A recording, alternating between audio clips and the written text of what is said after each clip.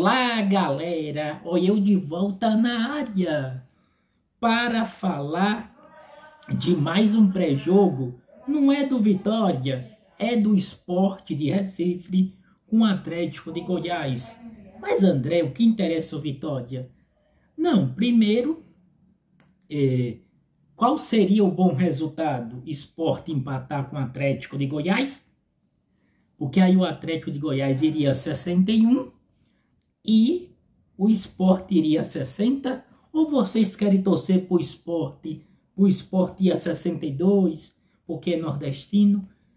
Vocês vão torcer para quem? Ou será que o Vitória não precisa torcer para ninguém? O Vitória só depende dele.